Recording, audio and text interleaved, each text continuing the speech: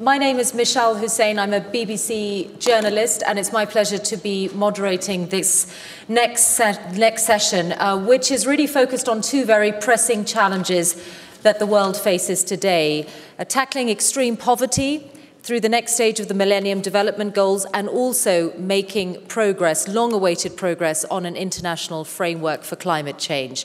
Sometimes these goals compete. Often, people are seen more in one camp than the other. But of course, there is so much evidence now about how these goals uh, can and should be tackled together. Progress on development can easily be eroded by extreme weather and climate disruption, and the environment often pays the price for short term economic gain. So um, the question will be how uh, we can consider these two goals through uh, the same prism as we move forward with the development agenda. So I'm delighted to welcome to our panel the UN Secretary General, Mr. Ban Ki moon, the President of the World Bank, Dr. Jim Kim, the Prime Minister of Norway, Erna Solberg, the Finance Minister of Nigeria, Ngozi Okonjo-Iweala, the former US Vice President and Nobel laureate Al Gore, uh, Bill Gates of the Gates Foundation, and the CEO of Unilever, Paul Polman. So, some very different perspectives um, from within the panel. I'd like to begin, if I may, by asking the Secretary General to outline how he would like to see this debate move forward. And with the global economy and better health, Secretary General, I'm assuming that you would want the focus to return to some of the things that, that might have been bypassed in the last few years. Thank you.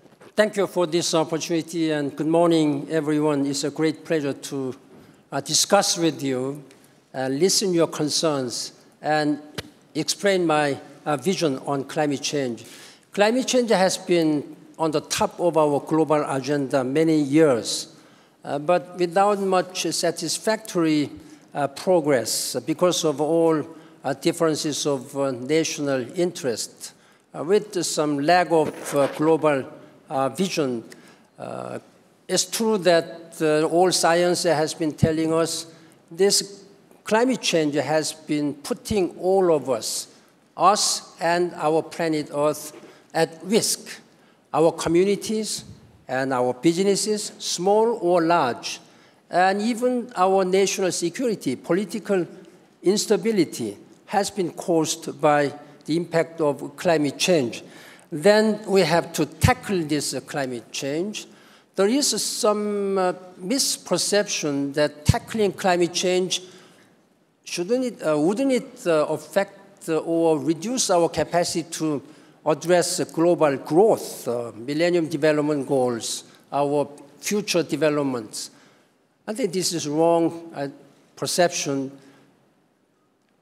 Tackling climate change will put all of us onto a sustainable de development growth. And addressing all of our life and our business activities on sustainable way will help us in tackling climate change. Therefore, these two issues are mutually reinforcing, mutually uh, supporting. Tackling climate change will, first of all, enable us to have uh, universal access to energy. It will have, uh, it will strengthen our capacity to resilient infrastructure.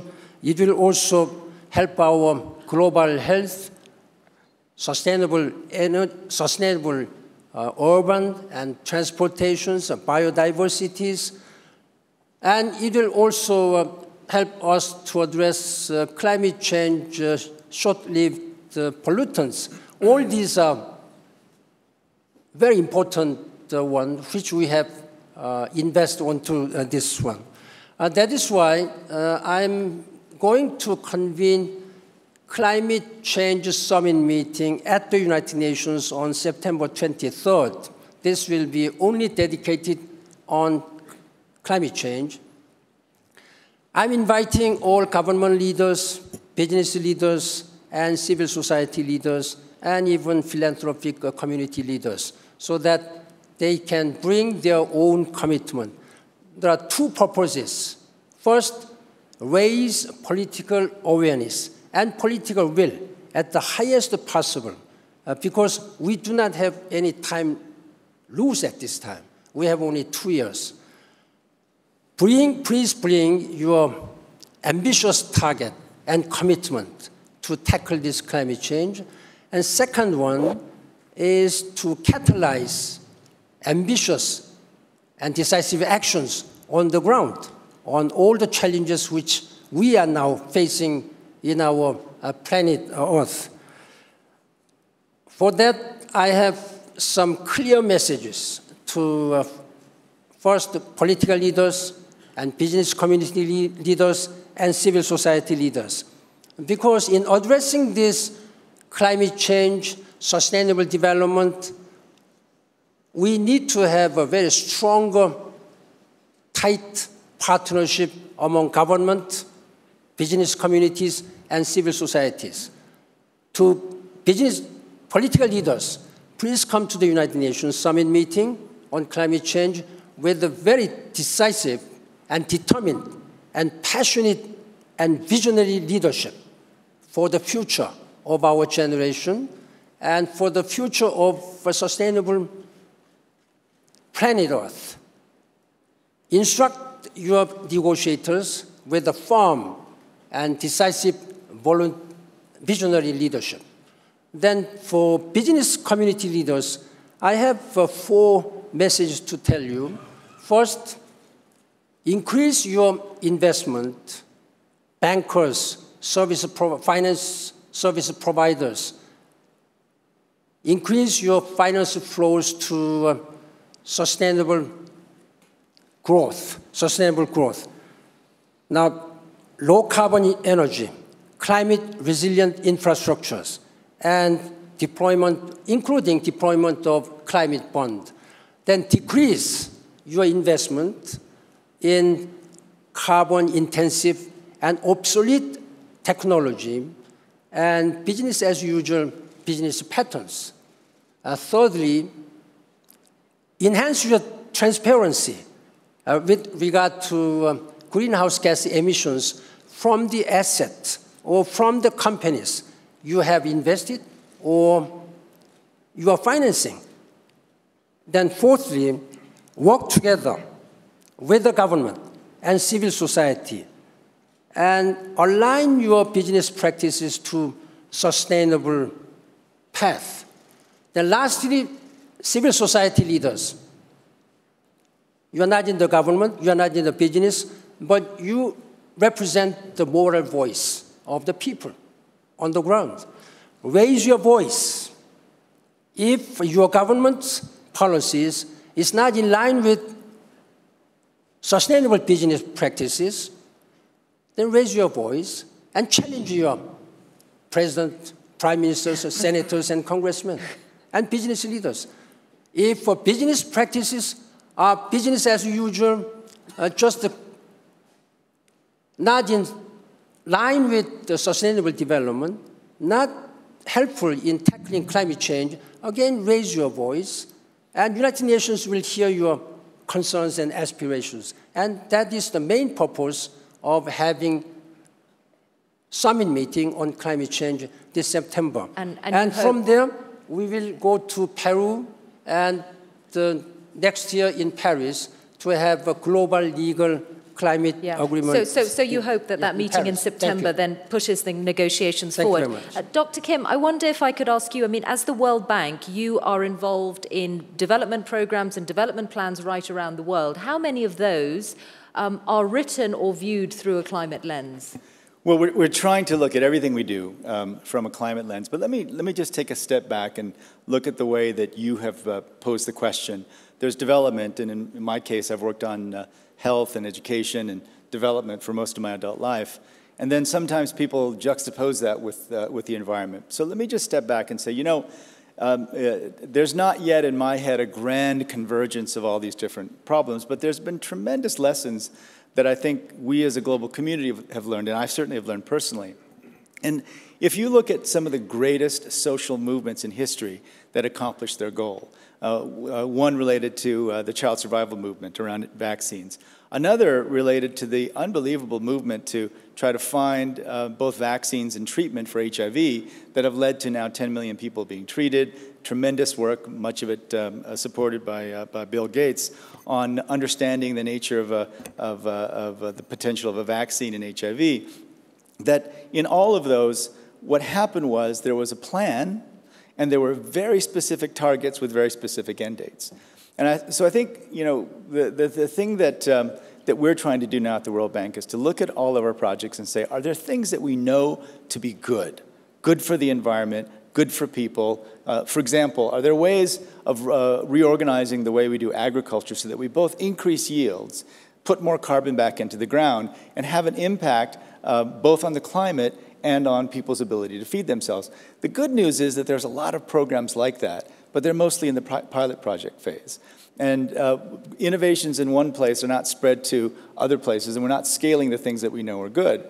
So if I were to look at these two, I, I would say this. First of all, we have to make sure that we don't pull uh, defeat out of the jaws of victory by losing sight of things like the MDGs. You know, one of the things that the Secretary General and I are doing, and we instituted for the first time, is every six months, all the heads of the UN agencies, along with myself and the IMF, are meeting to, to, try, to, to try to accelerate progress along the MDGs, because those were good goals, and they remain good goals, and they will remain, continue to remain good goals. And for climate, I think we have to step back and say, what are the things that we know to be good that we can do right now? You know, uh, uh, building more, uh, more cleaner, more livable cities uh, in New York City, they set a target of reducing their carbon intensity by 30% by 2030. They're going to get there by 2017. And the economy is growing. They found ways of growing the economy while at the same time reducing carbon footprint. So I would say at the end of the day that while there might, may not be some easy, grand sort of bringing together of these issues, there are so many things that we know we can do right now, and I would, I would say we need to set some targets for September even for Secretary General Summit.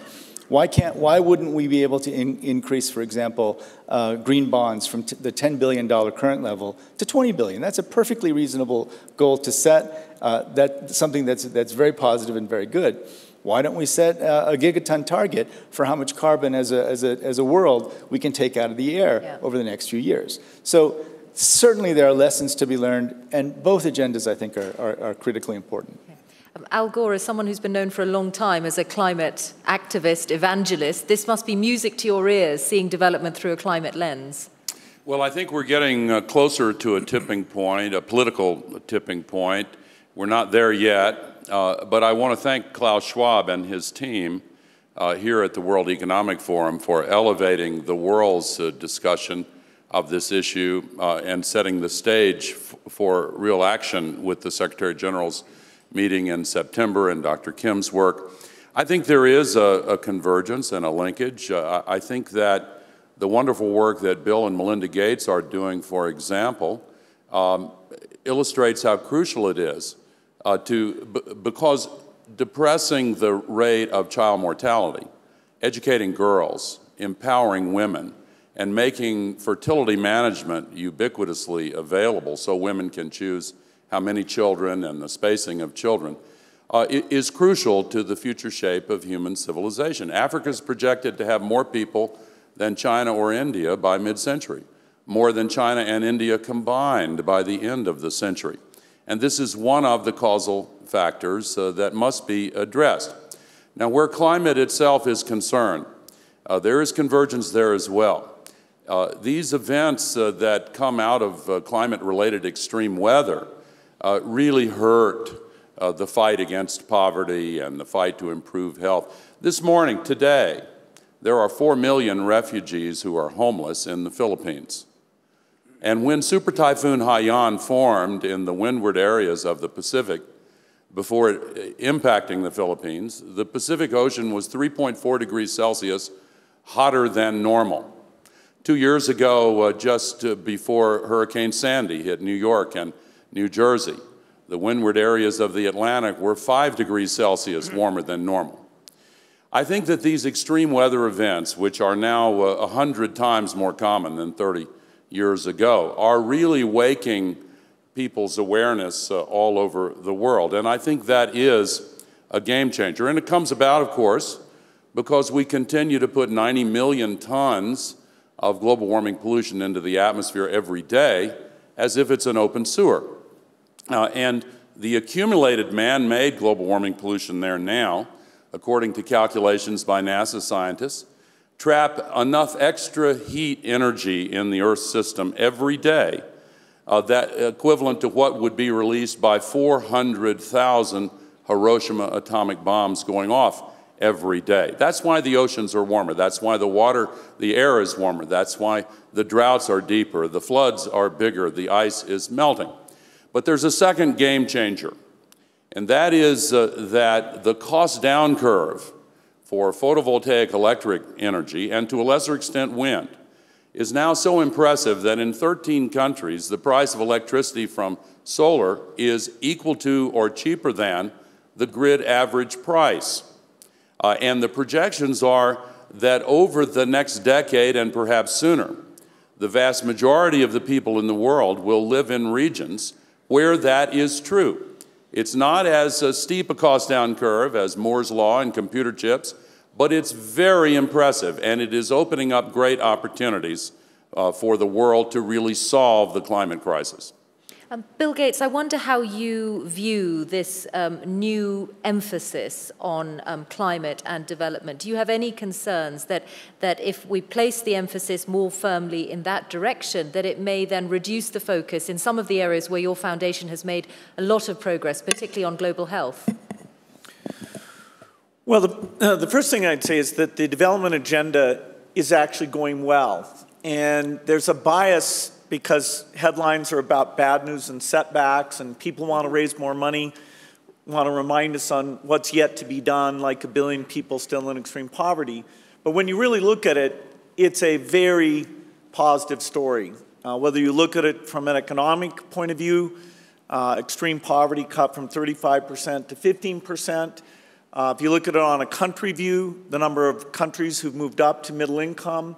Uh, now, most people living in middle income countries, which as you move up there, you become at some point self sustaining and you don't need aid, so we can focus aid on the, the countries that remain. So, we're doing a very good job on uh, the economics. Uh, we need to take the next 30 years and stay focused on that. Uh, so I think as we renew the MDGs, the idea of extreme poverty and uh, child to death being there on the very first page as, as global priorities, I think that's uh, quite important. The people who give aid, uh, like Norway, who's extremely generous, uh, we're all getting smarter about how we use that. And there's been a shift to health and agriculture as particularly catalytic. There's been a shift to more measurement of these activities, and I, I think that's good news that hasn't gotten out. And as Al Gore said, if you get health improved, if you get availability of contraceptions, then families will voluntarily decide to have less children. And that's good for all of this. If you want to feed, educate, preserve the environment, getting the peak population to be closer to 9 than 10 billion, uh, that's good news. So I don't think it's necessary that focusing on climate change should take away from the development agenda. Climate change is a very important issue, and in fact, it should make us invest more in helping poor farmers because weather's always been a problem for them. Weather's increasingly a problem for them. It wasn't good to begin with, but uh, the trends are not, not in their favor. And as they get better seeds, storage, then they can handle a year uh, that's bad without malnutrition or, in the extreme case, starvation. So the good news on the development agenda is there. I think one thing that both agendas need is uh, research and development focused on helping them achieve their goals. Uh, so in health, that would be an HIV vaccine, a malaria vaccine. Uh, in energy, um, despite the progress, Reliable energy requires storage, uh, requires getting the economics to be even better. And it's disappointing that the R&D budgets, whether in the energy space or the health space, haven't been a priority, and the economic crisis has made it easier not to think of those investments because they only pay off in the 10 to 20 year time frame, particularly if you add in the, the deployment complexities for both energy and, and, and health. Um, So I, you know, I think both things are very important. I think uh, climate's uh, got an awareness problem. And one, one issue I think we have to be careful of is that as the poorest are being lifted up, as they're getting uh, lights and refrigerators, we are going to use more energy. There's not a solution here where we use less energy. We have to make the energy we use uh, not, not emit any greenhouse gases, particularly uh, CO2. So development's going well. Climate, I hope uh, people are right that we can get uh, the same sort of understanding of the solutions there that we now have in the development space. Well, I'd like to turn now to the perspective from a country that sees the sharp end of all of this and turn to the finance minister of Nigeria. Um, how much um, are both of these challenges that your government are trying to deal with? Well, thank, thank you, Mishal. Um, actually, um, we find the debate a bit um, artificial in the sense that the way we experience these two ph phenomena, if you want to put it that way on the ground, is completely as one thing. Uh, there's really no separation between the environmental impact and the development or poverty-related impact. I'll just give you a clear example.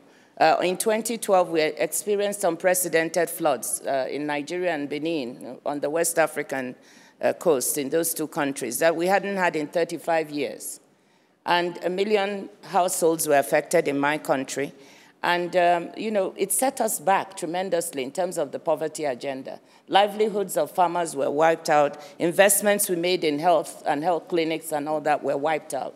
So there's no separation. And to us, if we do not get a grip, a grip now on solutions uh, to deal with uh, climate change and start greening the way we look at everything we do, uh, I think this will cause a problem. We also need to uh, move away I think since we're experiencing this now, we really need to move to solutions. And I just want to say that in Africa, we are not waiting. We have come up with a solution of our own called the African Risk Capacity. We've turned to private sector to look at what they're doing. And we, we we've set up a weather-based insurance mechanism. We're trying to capitalize it with $150 million. Countries will buy insurance. And when there's an event, instead of waiting several months for an appeal for humanitarian aid. In this will kick in. The insurance payments will kick in within three weeks. I think we really need to focus on supporting these kinds of approaches that countries and continents are coming up with themselves to try to address both the problem of development and its uh, linkage, uh, the strong interrelationship with climate change. I don't think we're focusing enough on that, and we want action now. Yeah. Well, let's talk then about the solutions and get the business perspective because Paul Polman from um, Unilever, you know, a, country, a, a, company with a huge global presence, um, the Secretary General's also called upon business to play its part. What would playing its part, or what does playing its part look like to you? Well, the Secretary General was very courageous. I've said it many times when he uh, created the uh, high-level panel to look at the uh, post-2015 goals. He actually included uh, some people, uh, Betty Maina from Kenya and myself from the business community, which obviously wasn't an easy decision and, and we had to earn our respect on the panel there. But what was very clear is what Ngozi says, these issues are very uh, uh, integrally linked. Uh, first of all, let's go back to what this is all about. Is, is first and foremost, as Bill mentioned, is poverty alleviation. But when we reached out as part of this uh, year and a half effort on the panel, it became also very clear uh, with feedback, by the way, from business community that is about 10% of the global economy, so an enormous response, that we have to do this in a sustainable and equitable way. And uh, these are integrally linked, and we should stop talking it as a problem, but seeing it more and more as an opportunity, uh, which obviously would get much more attention of the business community. So when we um, uh, talk to the uh, broader uh, business community out there, I think you see more and more business dealing with costs of climate change coming into their business model. We're getting to a point that costs of some of the things that Al was mentioning about the Philippines or other things exceed uh, the cost of not having an investment are higher than the cost of doing the investment. So it becomes an attractive opportunity in many of these areas, and that is what obviously is very attractive for the business community. You take the area of food security that Bill alluded to, uh, the billion people more or less that go to bed hungry every day, not knowing that they wake up the next day. Yet we are wasting 750 billion of food in the supply chain, 30 to 40 percent of the food is wasted. That's an immense business opportunity. Forget about the fact that it's climate change because all that food needs to be produced, the water, the climate. So there's a climate change dimension to it. So business understands the cost and wants to take more and more action. Business also, unfortunately, in the current economic or political climate, looks a little bit more long-term than the efforts politician. And business is seeing what is happening with population growth, with running out of scarce resources, uh, with the projections of climate change if that is not reversed. And business is actually more concerned than some of the uh, political environment. And then the last thing I mentioned is the opportunities. So when we, um, what we now see happening is here at the forum and other things, the World Business Council for Sustainable Development, the Global Consumer Goods Forum, we see enormous activities happening uh, of multi-party partnerships, often not only with the business community, but also with governments or with uh, civil society, um, to attack these issues and to turn them in an opportunity. The Secretary General and myself this morning uh, just came from the new Vision for Agriculture, something that started here four years ago. It is now in 17 countries, 5 billion is being pledged. The Nutrition for Growth added another 19 billion to that. It deals directly with alleviating poverty, focused on smallholder farmers, but under the Zero Hunger Challenge in a sustainable way. Why not design it the right way? We've created the Tropical Forest Alliance as an industry consumers don't want to buy anything anymore that comes from illegal deforestation. We won't be able to sell our products. Assuming they know it's come from they are increasingly they knowing know. because they're connected and talking to each other. They know what happens in a factory in Bangladesh. They also know, or they certainly want to know, if it's beef or horse meat. They also want to know if it is sustainably sourced or non-sustainably sourced. It's happening as we talk. Just stopping the issue of illegal deforestation is 17% of global warming. Why not solve that in a way that is also takes care of smallhold farmers, takes the climate change away 17%. So business likes these tangible projects. We have a unique opportunity now with the SDGs and the climate change negotiations coming together, the summit that the Secretary General has asked for in September, to rally the business community, to share these projects for scaling, and to say also to our political co uh, community, it's possible. It's not a trade-off. We can do both, and we can do, do both successfully. For once in our lifetimes, and probably the only our lifetimes, not even our predecessors or the ones that come after us. For once, we have an opportunity, all of us here in the audience, all of us here at the podium, in the next 15 years to eradicate poverty in a more sustainable and equitable way. Don't we want to be part of that? And I can tell you, I haven't met a business person who doesn't want to be part of that either.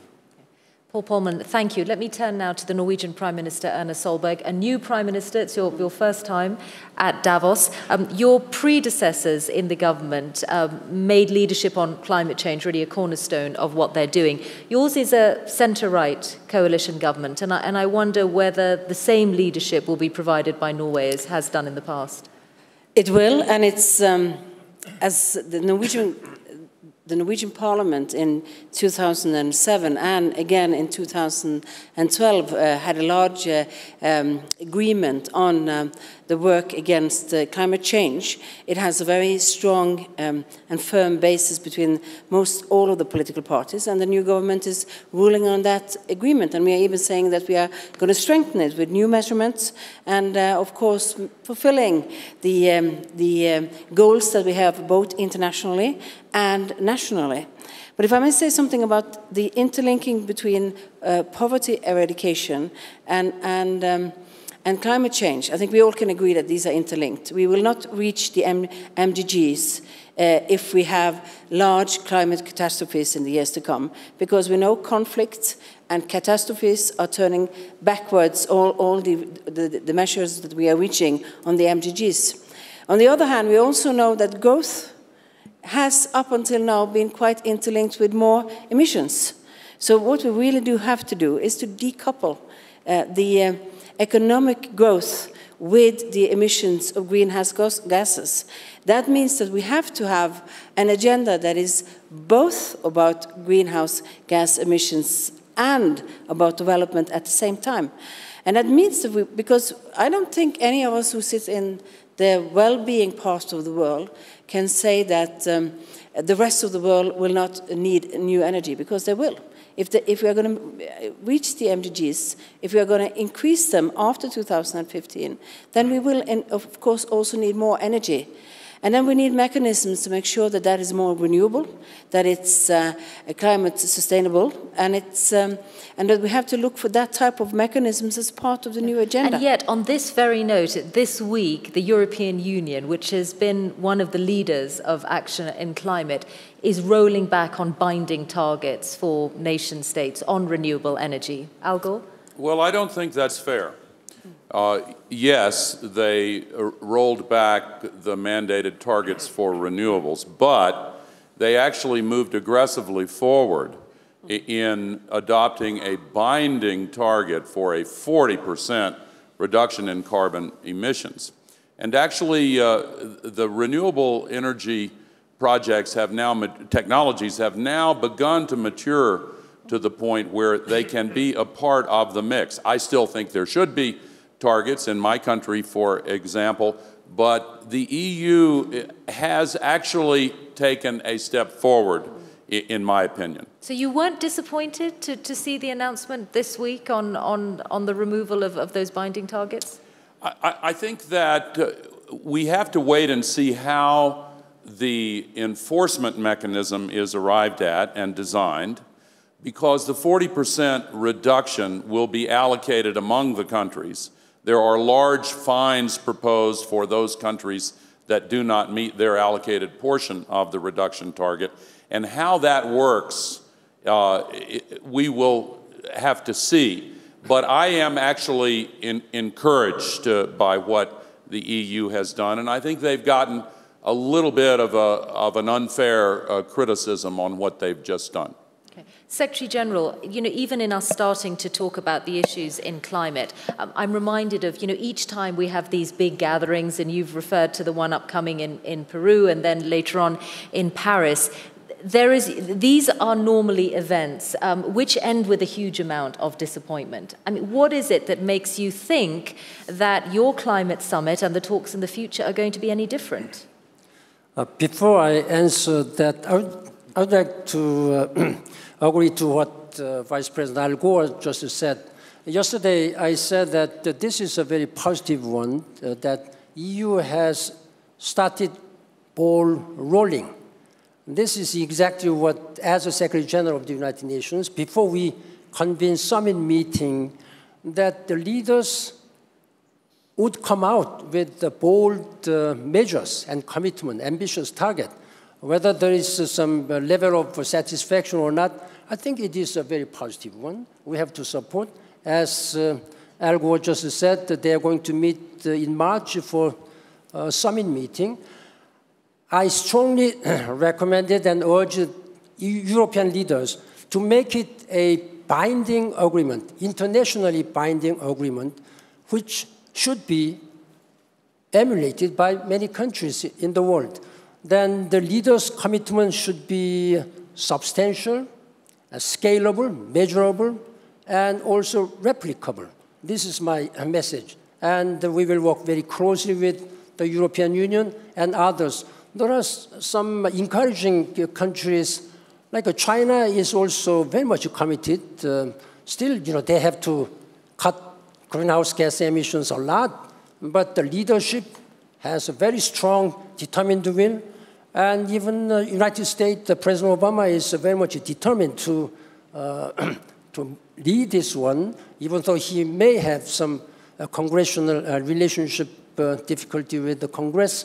But I sincerely hope that all these major countries lead this campaign. Now, about uh, my summit meeting, uh, there are some, you know, saying that what kind of uh, agreement or achievement will you have? Uh, this is not going to be a negotiation uh, forum. Negotiation will have to be done by at the uh, United Nations uh, Framework Convention on Climate Change, what is known as UNFCCC. But my message to the leaders is that this time you must be very, very serious. We don't have time to lose. So direct, give direction to your negotiators. Look beyond your national boundaries. Climate change does not respect the national border. It impacts whole global world. That's my message. this will be a solutions-based summit. This will be action-oriented summit. This is my strong commitment. Then we will go to Peru. I expect that the negotiators will make a solid document, draft document, so that uh, from next year, that we will be able to really negotiate. And then by the time it comes to Paris 2015, this is a promise agreement among the member states of the United Nations. They agreed that let us agree a agreement on this climate change. That is a their agreement, so they must keep this uh, target by 2015. Thank you. Well, let's just talk about the Millennium Development Goals for a moment and, and about the, the set of goals that will eventually replace them. Um, Bill Gates, I wonder what you would really want to see. I mean, you, you already said that you'd want to see extreme poverty and childhood death on the first page. But how ambitious should those next step, next set of targets be? Or, or is, is it important that they are achievable in, in order that some kind of momentum remains? Well, the uh, first MDGs did a fantastic job. Uh, they actually set targets for the world that were so ambitious that we didn't achieve all of them. The poverty goal, number one, we achieved. People point out that China's a big part of that, but uh, the rest of the world also made progress. Uh, childhood death, uh, the goal was two thirds. We cut it by half. Uh, going forward, our analysis looking at getting vaccine distribution better, new vaccines that'll come along, we think we can do another uh, two-thirds uh, reduction goal. Uh, and for maternal mortality, uh, we ought to be able to cut that at least in half. So the experts have been talking about ambitious goals. And so if the original eight goals emerge as still big priorities, uh, the updating of those, I think, will be very straightforward. Prime Minister?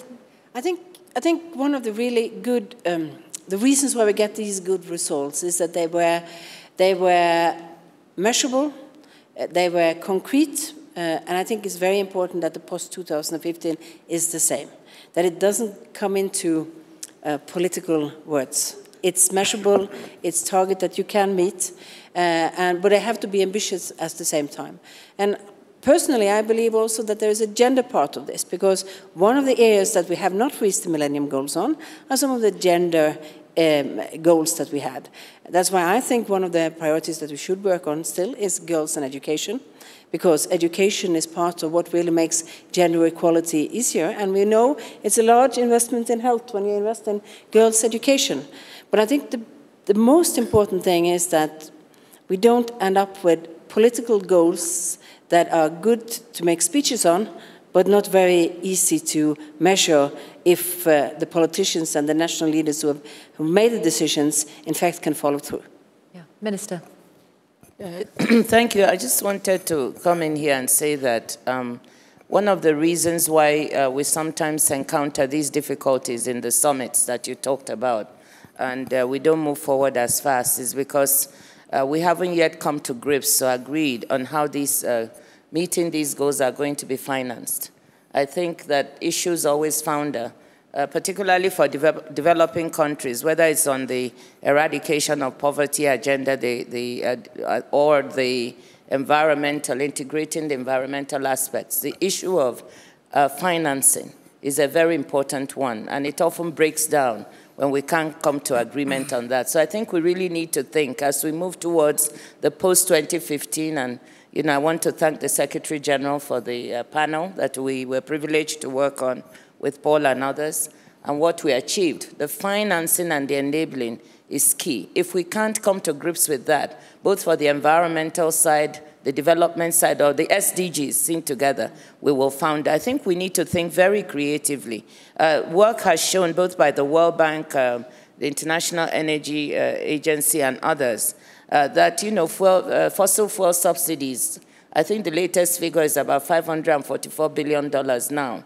Uh, you know, that if we phase this out, we could release resources that would go towards financing some of these goals that we are talking about. We need to think creatively of the countries themselves, how they can better mobilize their own domestic resources. And I think in many of the African countries, we have finance ministers, we are actively ourselves meeting and thinking of how can we do better in terms of our own domestic resource mobilization, improving our tax system, financing so ourselves. not just about international donors and calling No, for the...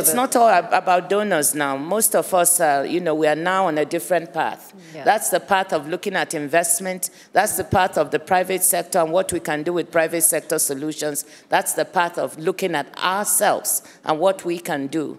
And there's very little investment really in trying to support these systems of domestic resource mobilizations, better tax administration, but also getting the world to phase out of fossil fuel. We tried it in Nigeria. It was a very costly political move, and my president was very brave to stick with it, and to, we phased out 50% of the uh, oil subsidies we have. Yeah. I, I think I, we should all be brave to I'd like to come to Paul something. Polman in a second, but Dr. Kim, I mean, that, that's a call to action for you, if, if not to be doing the financing, uh, but to identify those mechanisms to help the countries unleash some of those resources that the ministers you know, talking the, about. The, the fossil fuel subsidies is a great example, and it's so politically difficult.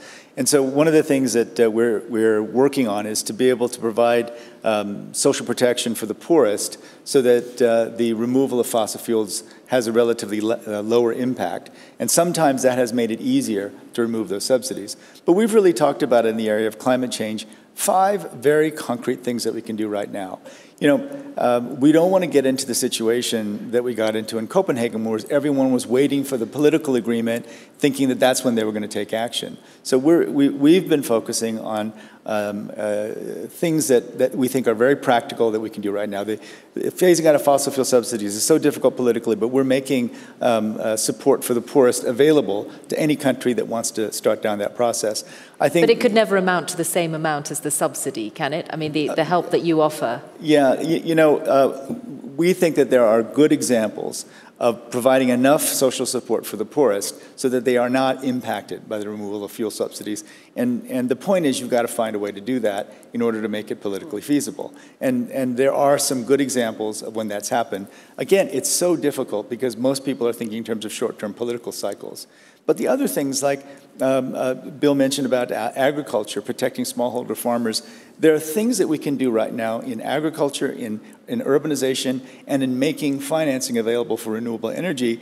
We can do that right now. And my own view is that if we get aggressive in setting some targets, setting some goals, that can actually help the political process uh, uh, uh, be more effective. So I, you know, I just want to repeat, we need to set some goals for what we're going to be um, uh, pledging in September, something that we can all bring to the table in September and hope that our concrete action will, um, will spur along the political yeah. process. Um, Paul Polman, you were talking about business investing to guard against climate change, but how do you how do you, the advantage of a national framework is that you, you can look at it in a broad perspective and join up what you do in different areas. If, if different businesses act individually, then how do you get the same effect? Well, you need to scale for impact to get the effect, and that's obviously where the Millennium Development Goals come in, because they provide a wonderful framework also for business, like it does for government, to uh, forge these partnerships. So let me build on what Bill was saying. There's an enormous progress. We still have 500 days. I always remind people my watch isn't giving yeah. the time, it's actually counting the days that we still have to finish the other Millennium Development Goals that we're still working on, so let's do that.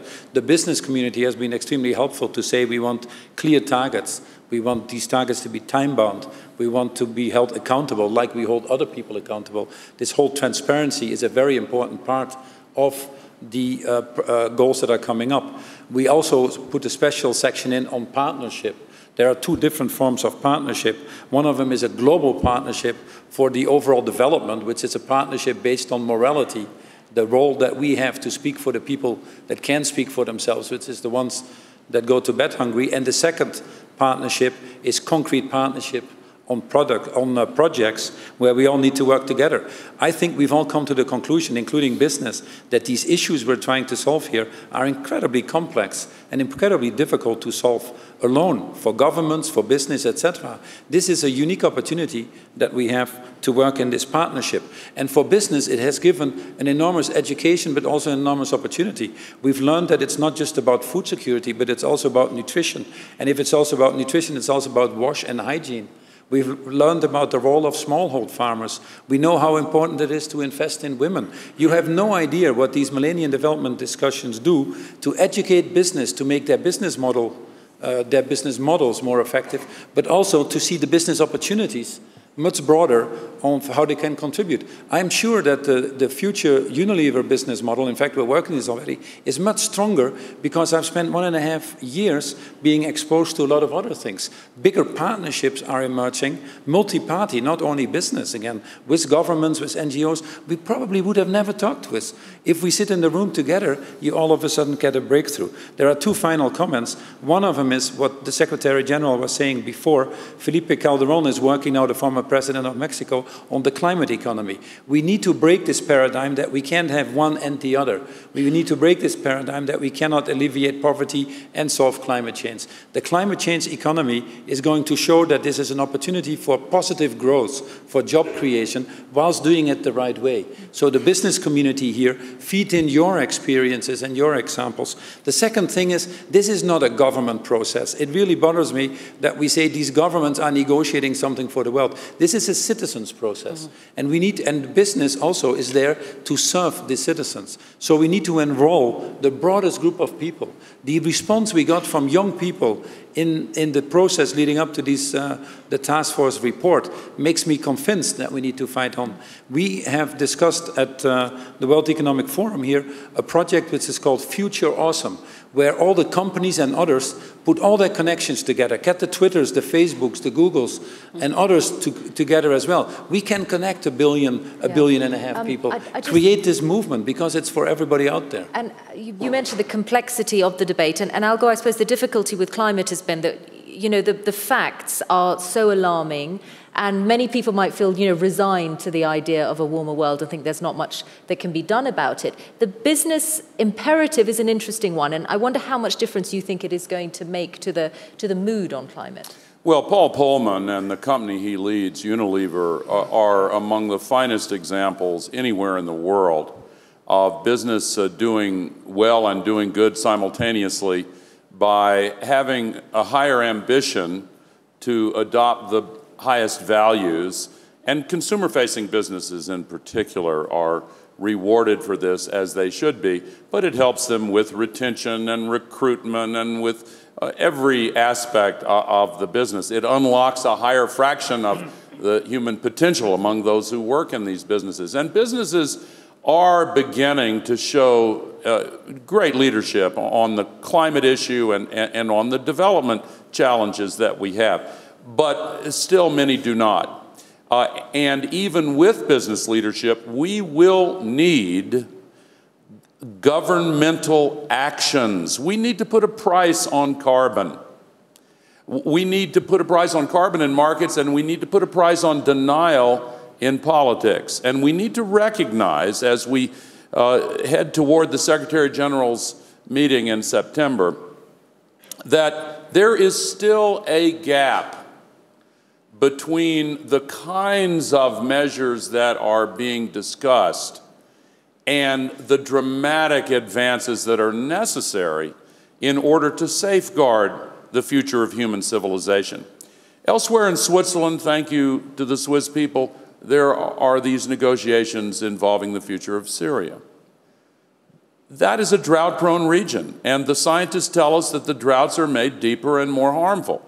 From 2006 to 2010, a million people from rural areas of Syria were driven by the worst drought they've had into the cities, joining a million refugees from Iraq, by the way, and the sectarian tensions uh, just bubbled out of control as a result.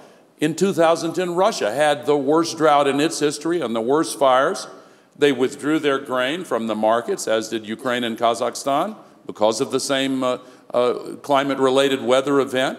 And food prices reached the highest level in all of history. It was a food vendor in Tunisia uh, who yeah. set himself on fire, many other factors, but there were food riots in many countries. We have to recognize that the vulnerability of the food system to droughts, fires, the disruption of the precipitation cycles, um, more threats from pests, and heat stress itself. This represents a huge challenge. And so, as we find ways to get a higher ambition to put a price on carbon, uh, we have to also recognize that yes, it's a citizen problem. Governments will have to take action. Uh, and Mr. Secretary General, I hope that everyone here and with the, within the sound of our voices will be a part of the conversation uh, and the cultural shift uh, on climate uh, and on the larger challenge of securing the human future so as to embolden the governments that you need support from as you tackle this challenge. Um, Bill Gates, um, a final word from you about the next stage maybe of, of, the foundation's work. Are you going to broaden what you do so that you know you, you are uh, you are working across some of what have been seen as divides in the development world? Well, in terms of mitigation, the things that you do for poor farmers without climate change are exactly the same things you do for poor farmers with climate change. You give them drought resistant seeds, you give them higher productivity, and that's actually a growing uh, part of our activity and a lot of great science that will let us uh, move forward on that. In terms of uh, health, as we've said, that uh, is the leading thing that gets these very high population growth rates down. And that's occurring in exactly the place the world can least afford it. It's in Yemen, it's in Pakistan, it's in uh, parts of Africa that have the least ability to support people. So the focus of our foundation for my lifetime will be these health and agricultural issues. Uh, you've got to specialize.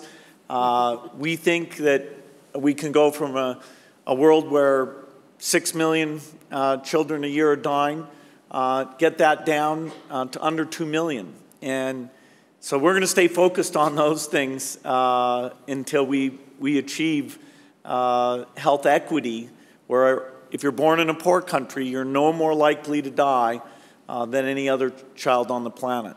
Okay. Well, these are these are big issues, and this is a, a crucial moment to discuss them as the UN uh, moves uh, into really focusing on this in, in the months and in the 18 months or so ahead. And please join me in thanking all the panelists, and thank you in the audience.